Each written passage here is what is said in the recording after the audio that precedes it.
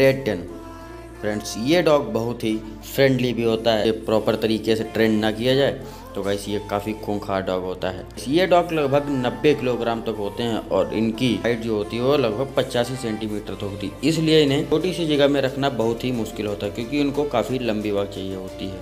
दोस्तों, ये थी मेरी आज की वीडियो। ऐसी वीडियो पाने के लिए जुड़े रहिए हमारे साथ। धन्यवाद।